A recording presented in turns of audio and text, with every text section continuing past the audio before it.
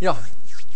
Eh, jeg fikk et spørsmål her i pausen om eh, Det kan jo ofte være dårlig tid på eksamen. Og da er det jo sjølsagt en fordel om dere formulerer problemene generelt, altså med formler og det her. For det tar jo ikke så lang tid. Det som tar tid, er å skrive ut formlene fullt ut, sånn som det her. Og hvis dere har dårlig tid, så kan dere da starte på en sånn formel og så begynne å vise strukturen. Skrive f.eks. første delen her, og så prikk, prikk, prikk, og så avslutninga. Ja, men eh, det kan være lurt at dere da eh, setter av masse ledige rom.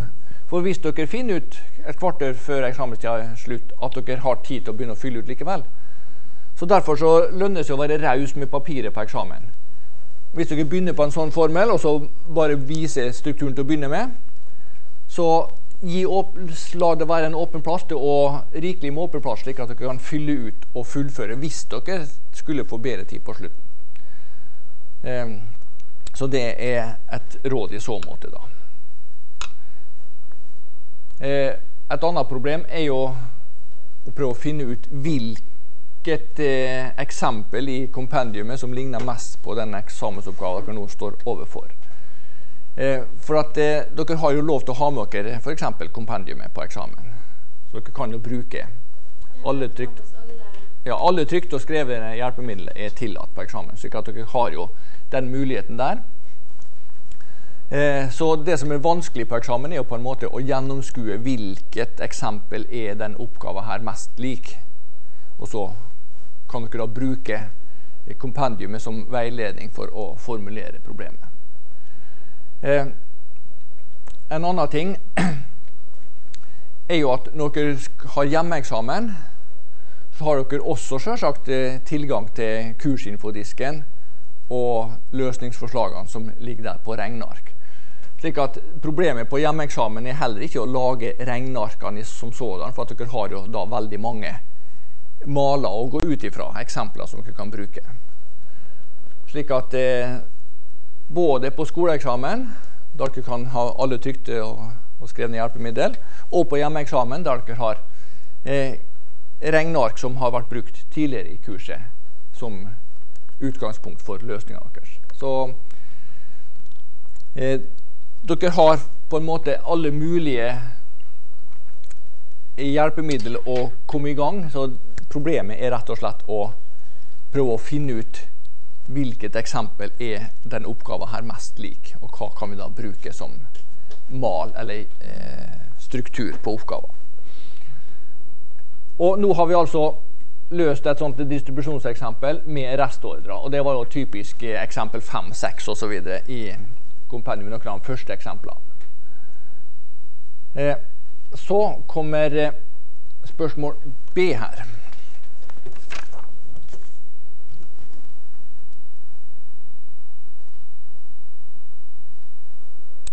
Nå er det slik at eh, Økonomidirektøren han er oppgitt over hvor snevert logistikksjefen har definert problemet. Han vil jo da eh, levere dette så billig som mulig.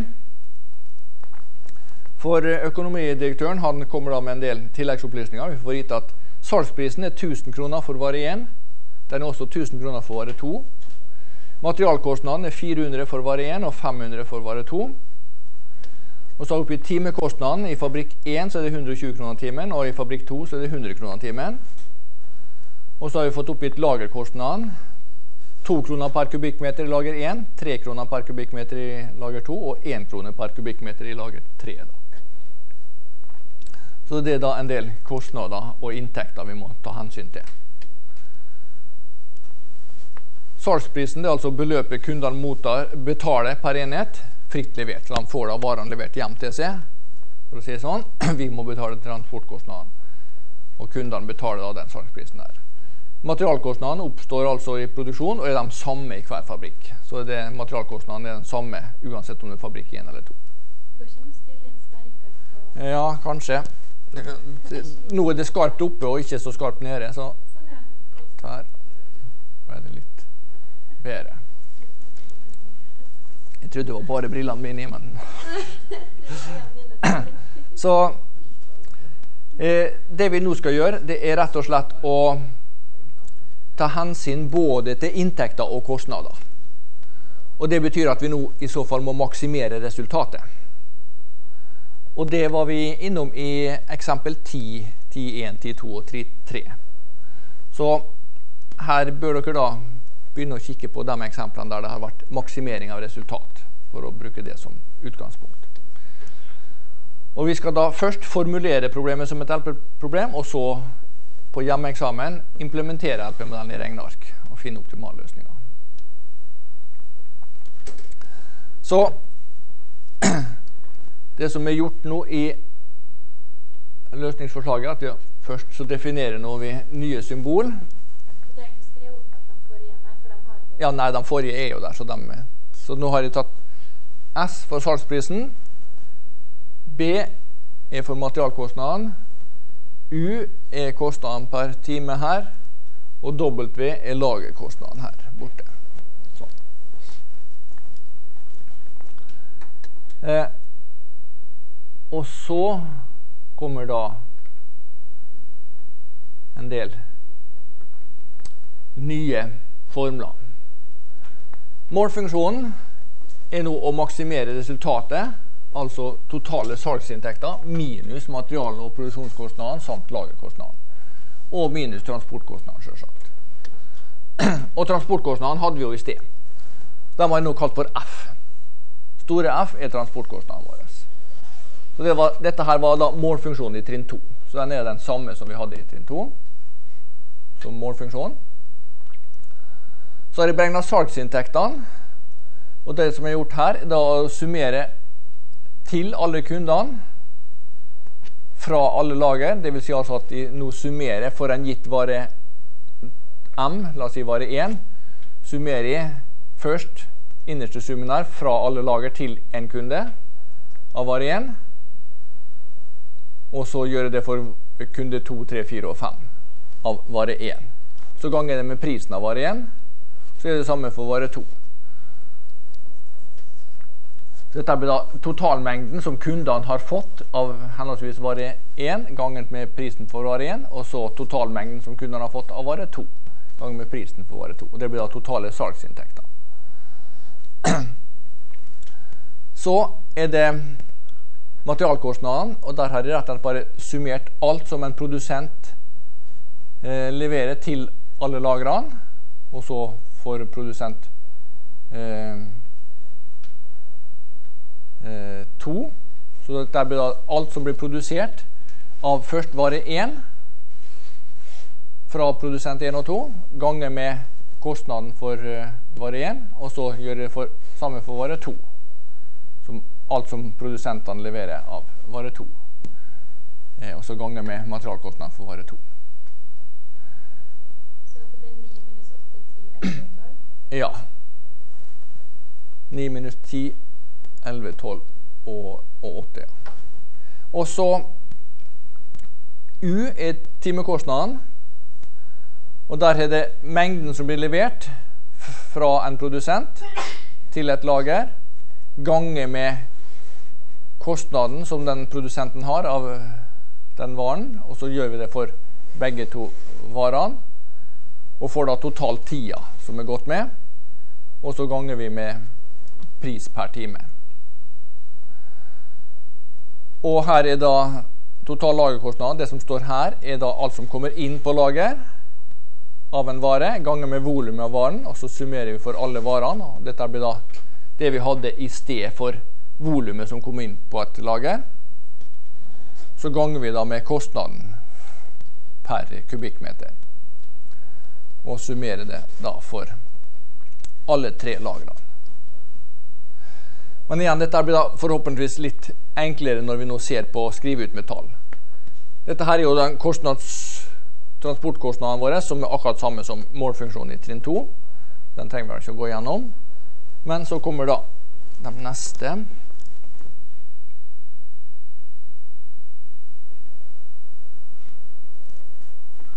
Når vi skal beregne salgsinntektene, så har de først summert alt som kunde 1 mottar av vare 1, enten fra lager 1, 2 eller 3, altså det er 4, 5 og 6. Og igjen så kan det være nyttig å ha den figuren her i bakhodet. Vi har altså summert 3, 6, 4, 6 og 5, 6. Det er da alt som kunde 1 mottar av vare 1. Og så gjør vi det for, samme for eh, kunde 2, 3, 4 og 5. Altså node 7, 8, 9 og 10. Og det blir da totalmengden av vare 1. Det er henholdsvis kunde 1, 2, 3, 4 og 5. Så ganger vi med prisen på 100 for vare 1. Så gjentar vi akkurat det samme for vare 2. Eneste som forskjellen her er at vi bytter ut indeksen, siste indeksen 1 med indeks 2 for vare 2. Gjør vi akkurat det samme igjen. Summerer for alt som eh, kunde 1 mottar fra lager 1, 2 og 3, eller nå det 3, 4 og 5, da, og så videre. Og der var også prisen 1000 for vare 2. Så det blir da totale salgsinntekter. Da har vi summert alt som kommer inn av vare 1 ganger med prisen på vare 1, og så har vi summert alt som kommer inn av vare 2 og ganger med prisen for vare 2. Eller alt som blir solgt av vare 2. Så kommer da disse materialkostnadene B her. Og da har de eh, rett og slett summert for eh, produsent 1 først. Det en produsent 1 leverer til lager 1, 2 og 3, eller node 3, 4 og 5 da. Disse greinene der. Det er da fabrikk 1 av vare 1. Og der var eh, materialkostnaden 400.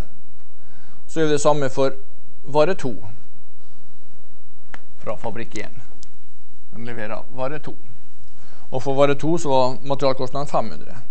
Så har jeg gjort det samme for fabrikk 2. da, Gjentatt akkurat det samme, bare at jeg bytta ut indeksen, første indeksen 1 her med indeks 2 istedenfor. Da har vi fått summert alle materialkostnadene våre.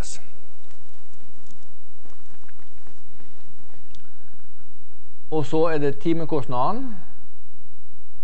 Og det blir da på en måte akkurat den samme. Da tar vi Det blir de samme mengdene først, altså det som går ut fra fabrikk 1 til lager 1, 2 og 3. De mengdene først av vare 1, som bruker 1 time. Og så av vare 2, som bruker 2 timer.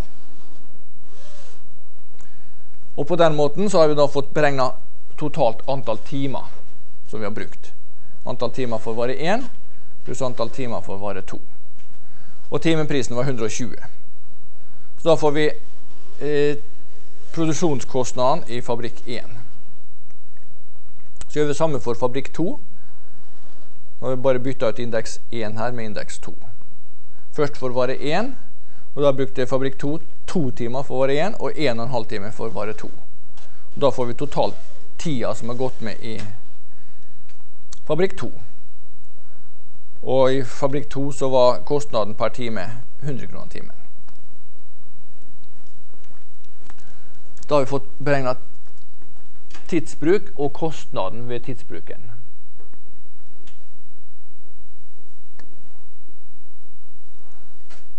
Dette her ligner veldig på de, Den U her ligner vel veldig på det vi hadde som tidsbruk her oppe.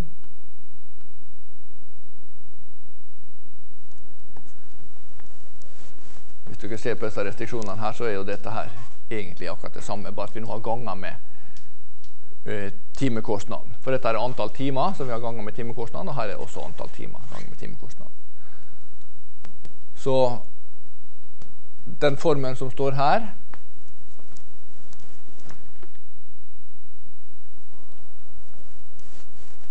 Restriksjon nummer to er altså veldig lik det vi nå nettopp beregna her nede.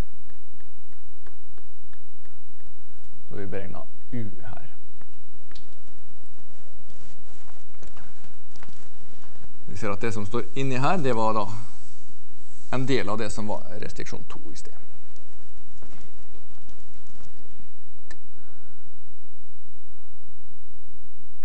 Og så er det da for lagra sin del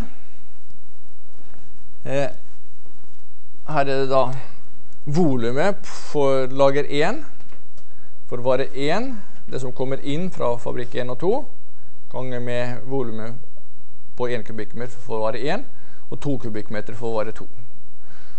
Og dette her er jo da veldig lik den restriksjonen vi hadde for lagra når det gjaldt lagerkapasitetene. Det eneste at den nå har i ganger med kostnaden på to kroner. Så igjen så har vi en lignende restriksjon eh, i A-spørsmålet for disse summene her. Og det eneste vi, vi nå har gjort, er å gange da volumet med to kroner per kubikkmeter. Så gjør vi det samme for eh, lager to og lager tre. da. Så disse her finner dere også igjen tidligere i eksempelet. da. Dem har vi beregna i del A tidligere. Vi Se om vi finner igjen dem.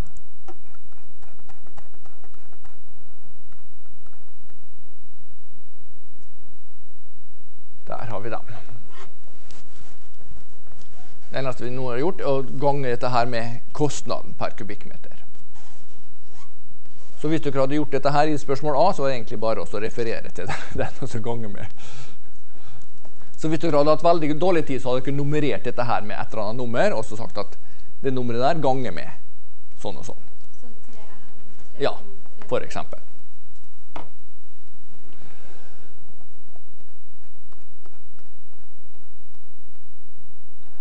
Da var de som måtte bruke tid på å bla frem og tilbake.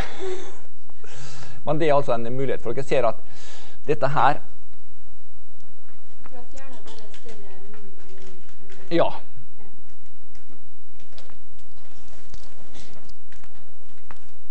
Så dette her ligner altså veldig mye på lagerrestriksjonene. I sted så hadde vi da skulle være mindre eller like kapasitetene som de ulike lagrene hadde. Og da blir målfunksjonen, som du sa, det blir altså salgsinntektene minus eh, transportkostnadene osv. Salgsinntektene minus totale transportkostnader, materialkostnader, timekostnader og lagerkostnader. Ja.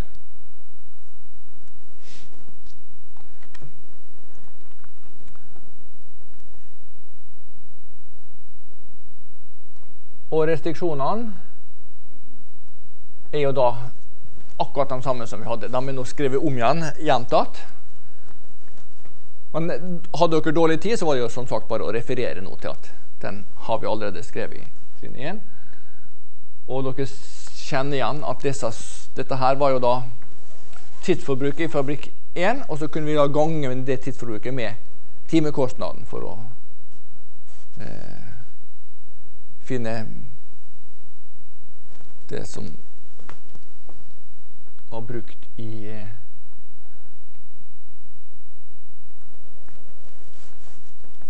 her, eksempel. Eller her, mener jeg. Her har vi tidsforbruket. Og den har vi gang, ganga med 120. Og her nede ser dere altså tidsforbruket. Så dette tidsforbruket her kunne vi gange med 120. For det var kostnaden per time i fabrikk 1.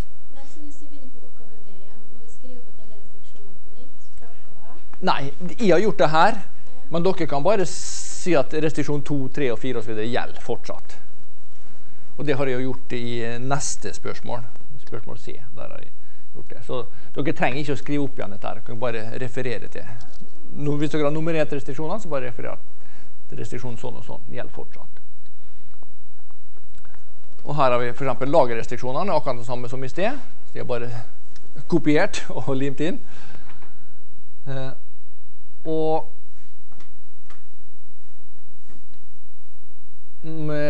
materialbalansene er også akkurat de samme. Hver transittnode, sum inn, skal være minst like mye som sum ut. Den nye restriksjonen her, den er ulik den vi hadde i sted. For i sted så hadde vi mer restordrer, og restriksjonene var større eller like.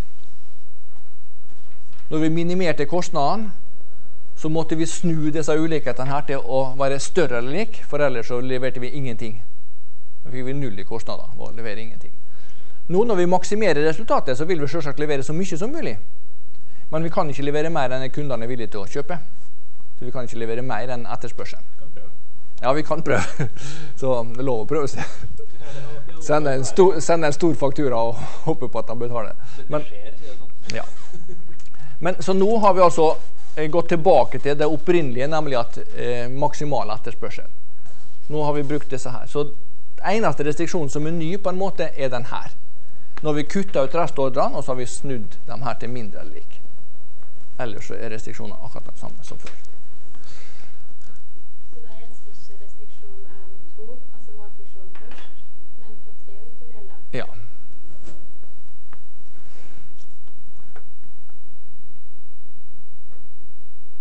Så, det, så dette her er på en måte den eneste restriksjonen som er modifisert eller endra på.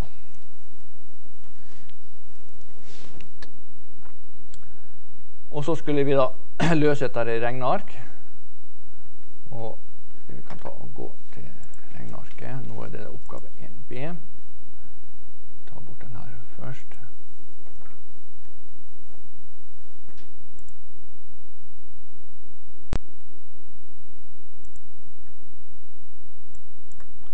Sånn. Eh.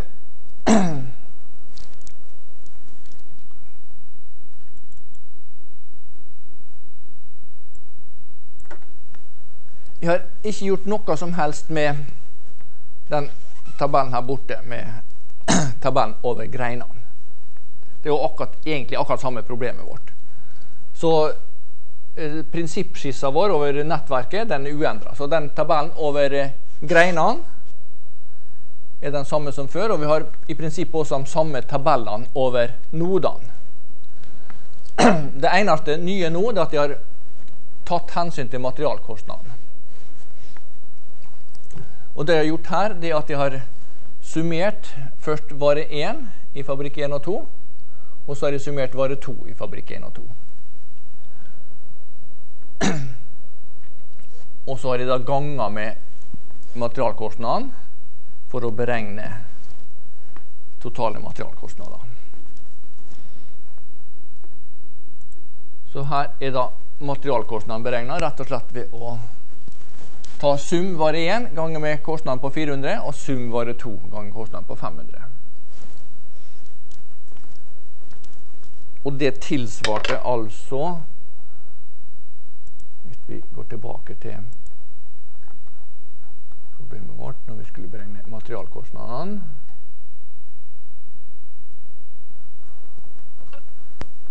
Så tilsvarer det den der, altså beregninga av B, da, som var materialkostnaden vår. Og den formelen her. Så dere bør jo nå på en måte tenke gjennom den eh, eh, ligning 10 her, og den definisjonen der, og kikke på regnearket og ser at det blir jo utrolig enkelt i regnearket. Og så må dere da prøve å tenke andre veien. Hvordan ser formelen ut? I regnearket så gir dette seg nesten seg sjøl. Det er veldig enkelt å gjøre sånne ting i et regneark, men å lage formlene det krever kanskje litt mer eh, omtanke. Men studer altså regnearket og formlene og eh, prøv å se sammenhengen her. Produksjonskostnaden eh, er også beregna forholdsvis enkelt. Der har vi nå beregna totaltida, og så er det rett og slett bare ganger med kostnaden. Så er altså venstresida på restriksjonene når det gjaldt kapasitetene våre, er nå brukt igjen som eh, beregning av totaltida i fabrikk 1 kostnaden på 120, og så totaltida i fabrikk 2 ganger med kostnaden på 100 kroner timen. Så er det antall timer i fabrikk 1 ganger med en kostnad på 120, og antall timer i fabrikk 2 ganger med en kostnad på 100. Og igjen, dette der eh, Hvis vi går til Det var da disse formlene her. Eller ligning 11 her. Og den siste biten her var jo rett og slett bare tidsforbruket som inngikk i restriksjonen når det gjaldt kapasitetene til fabrikkene.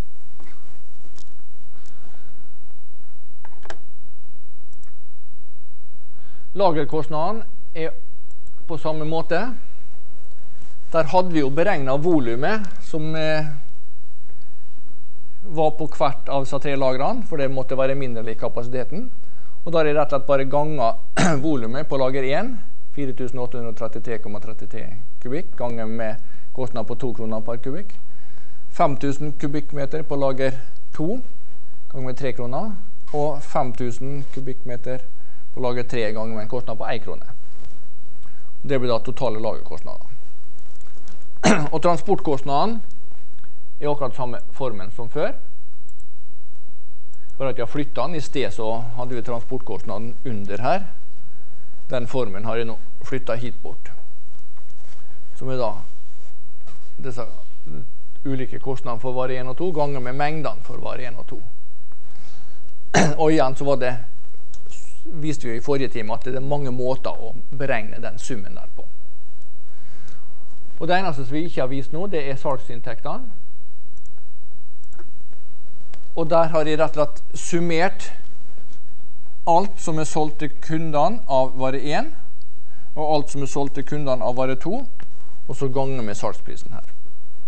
Og får da total salgsinntekt på den måten. Og den formelen hadde vi da Det var S her, salgsinntektene. Og det var det som da står her. Så formel nummer ni og det vi har skrevet ut her, er da det som er implementert i regnearket i den formelen her, som er rett og slett bare summen av vare 1 ganger med salgsprisen og summen av vare 2 ganger med salgsprisen.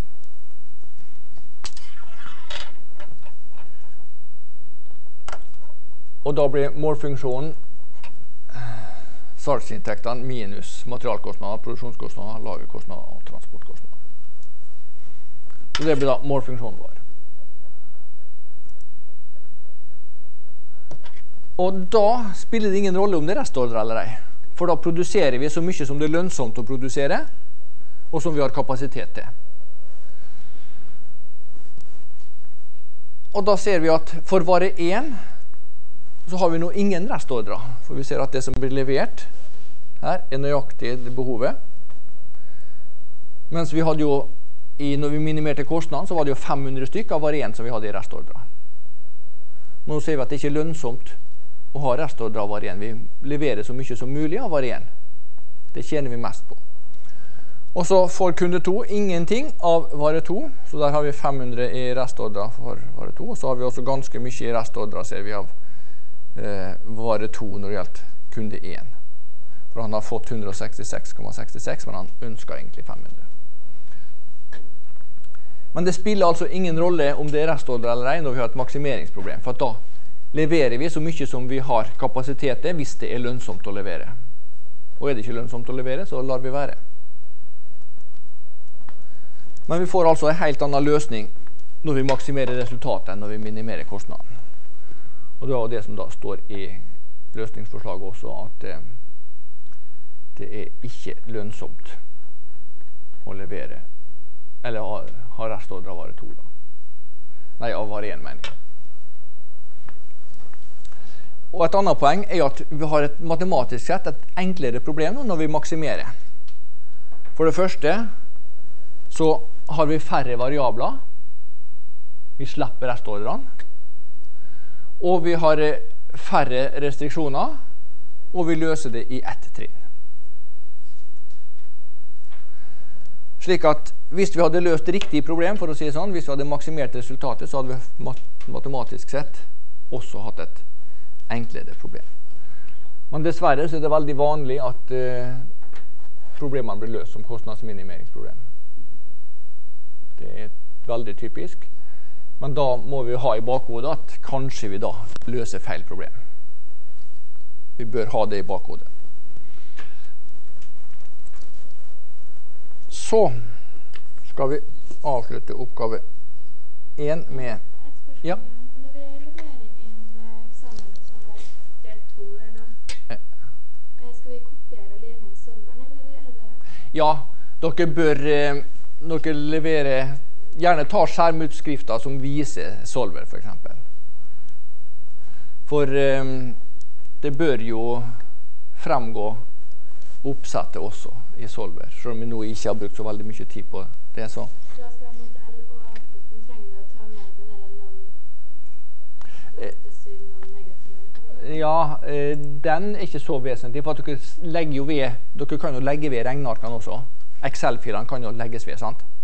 Dere, når dere leverer hjemmeeksamen, så leverer dere ei eh, fil med tekst der skjermbildene er med. Men dere kan også levere selve regnearket. Og da vil jo eh, Solder-oppsettet her, og da kan jo jeg gå inn og sjekke regnearket hva dere har gjort her. Om dere f.eks. har uh, kryssa av på assume non-negativ, f.eks. Ok, så vi skal kopiere både Excel-en inn i Word-dokumentet og ta med modell-outputen, og så kan vi skrive Ja, den her eh, den kan være med, men dere trenger ikke å ta med skjermbilde av den her. Nei, Nei? Du trenger ikke skjermbilde av den heller. Output. Du bare ha med modellen. For at det andre, vil dere legge ved Excel-arkene, så vil jo vi kunne gå inn her og så sjekke hvordan det ser ut der. så-? Ja, det er en ekstern sensor også. Er.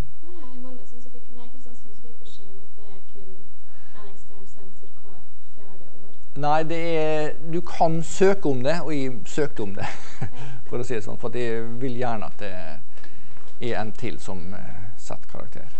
Så Nei, jeg reglene på når det er ekstern, ikke ekstern. Nei, i utgangspunktet, når vi hadde gode råd, for å si det sånn, så var det bestandig to sensorer, én intern og én ekstern. Så det var liksom regelen at det alltid var det to sensorer, én intern og én ekstern. Men så hadde vi jo da store underskudd noen år, og da måtte vi spare penger, og da ble det eh, lagt inn en regel om at eh, det, det var ikke ekstern sensor eh, i alle fag. Da. da var det bare noen fag som fikk tildelt ekstern sensor, og det varierte fra semester til semester. Så eh, Men eh, nå er da økonomien litt bedre, så nå går det an å søke om å få ekstern sensor selv om du ikke kom på den lista. Så i, i utgangspunktet så hadde ikke vi ekstern sensor i det faget i år, men jeg har bedt om det og fikk det, da. Blant annet fordi vi er så få studenter. Så da blir ikke kostnaden så stor likevel. Vel, da har vi altså løst spørsmål A og spørsmål B. Vi har til og med løst hjemmeeksamensdelen. Eh, og vi står igjen nå med siste bit her, spørsmål C. Kundene de synes det er komplisert å forholde seg til flere leverandører, og de ønsker derfor primært å bli forsynt fra ett lager hver. Og så står det i parentes her, ta utgangspunkt i A hvis du ikke har løst B. Så det er et hint om at eh, hvis dere nå ikke har greid å løse B den her, så kunne dere besvare på den C her ut ifra det dere hadde gjort på. Så ja, hvis du har gjort B, så er jo dette en fortsettelse, sant? så da bygger vi på B.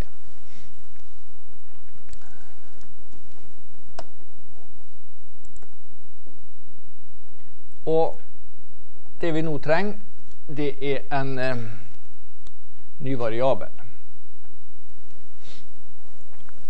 Så jeg har putta på en eh, binær variabel I Ja, det skal være i, i eh, i j, er det vel? I j skal det være. Y i j. Eh, det var noen røde kruseduller som gjorde at det ble vanskelig å lese. da, Men førsteindeksen er for, eh, fra lagrene, og den andre indeksen, J, er til kundene. da. Så Y i J er én visst lager I betjener kunde J. Eh, og da bygger vi altså i dette tilfellet her på spørsmål B, samme målfunksjon. og samme restriksjoner. Så vi har ikke skrevet opp igjen det. Og det kunne vi gjøre også i spørsmål B når vi brukte opp igjen restriksjonene fra spørsmål A. Men vi besvarte spørsmål B fullt ut. Eh, men det trenger dere altså ikke gjøre når dere har dårlig tid på eksamen. Da kan dere bare liste opp igjen. Eh, den nye restriksjonen er altså at eh, den binærvariabelen i IJ skal være mindre eller lik 1 når vi nå summerer fra alle lager til en kunde j. Dette blir da antall lager som betjener kunde j. Og det skal altså være mindre eller lik 1. Det betyr at maksimalt ett lager kan levere til en kunde j. Eh, og når vi skriver ut den der, så vil det da si at kunde 1 kan eh, fra lager 1, 2 eller 3, eller det vil si at nå det er 3, 4 eller 5 da.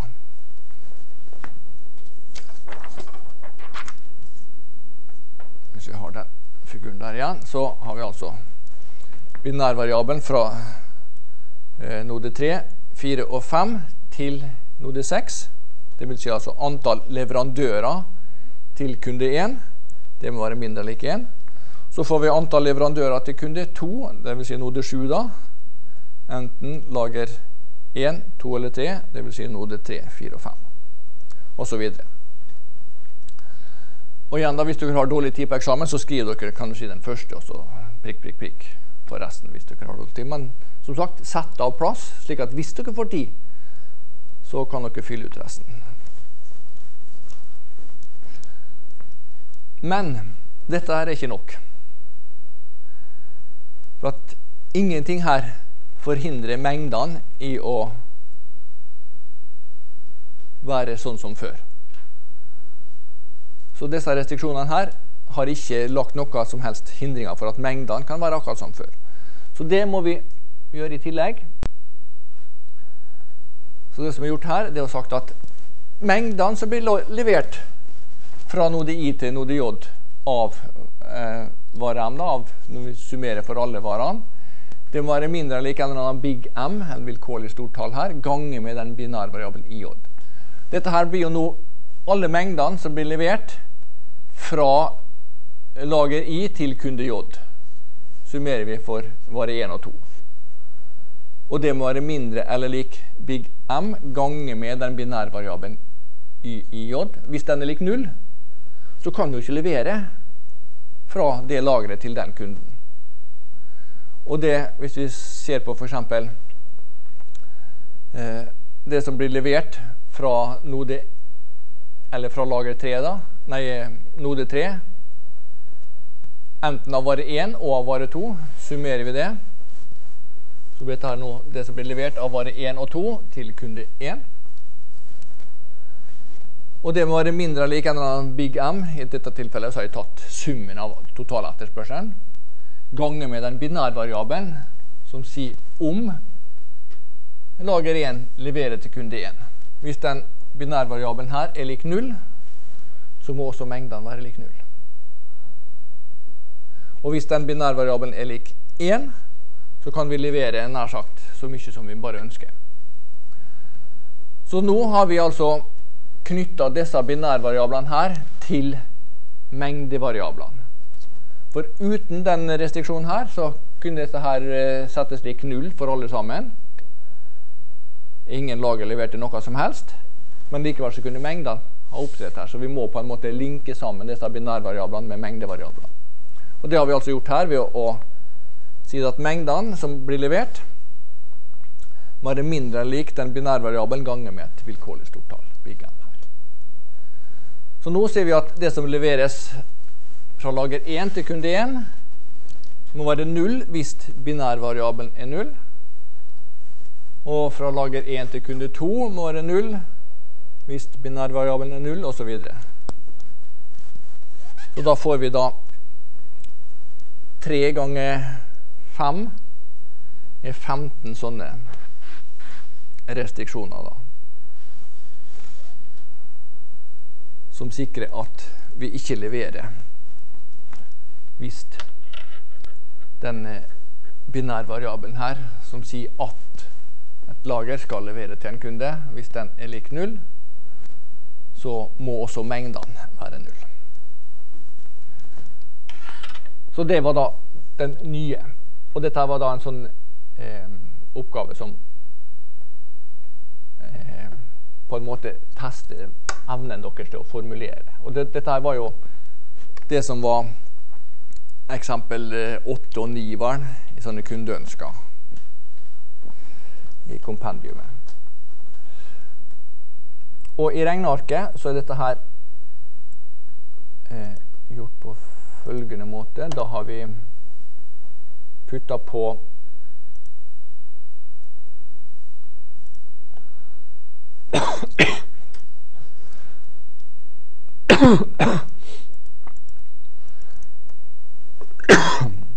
Vi har putta på noen eh, nye variabler, sjølsagt. Her er disse nye binærvariablene våre.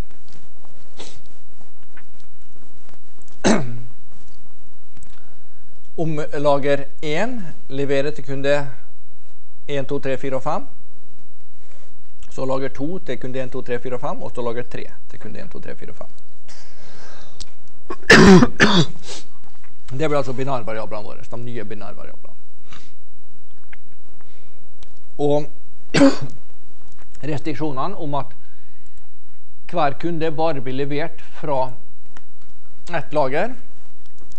Da har jeg brukt en summi-funksjon som sjekker, sjekker hvis det er kunde 1, altså node 6, så må antall binærvariabler her, som er summert her, det må de mindre like. Vi legger inn i solver en restriksjon om at den summen, som nå summerer antall leveranser, eller antall lager som leverer til en kunde her,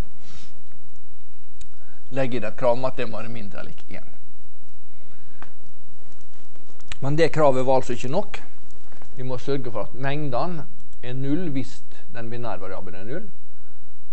Og her har jeg da summert mengdene av vare 1 og 2 eh, fra et lager til en kunde. Og her har jeg da beregna den big M ganger med binærvariabel. Så hvis den binærvariabelen er null, så må altså mengden så blir kan du si, kapasiteten for å si sånn da, også null. Og hvis ikke, så kan vi levere inn til 11 000, som er summen av eh, totalbehovet her. Så det blir da neste restriksjon, som sier at sum levert, som er bare summen av var 1 og 2, må være mindre eller lik eh, big M ganger med binærvariabelen. Og da ser vi at hvis vi nå har åpna opp for leveranse, at binærvariabelen er 1, så får vi en veldig stor kapasitet. Og hvis ikke, så får vi null i kapasitet. Og da må også mengdene være null. Så det var da den link-restriksjonen vår. Det var den restriksjonen her. Den skal vi kalle for restriksjon 16. Den var altså implementert her med venstresida på restriksjon 16, og her har vi høyresida på restriksjon 16. Og da var tida akkurat ute, så da tar vi en ny pause, og så begynner vi på oppgave to etter pause.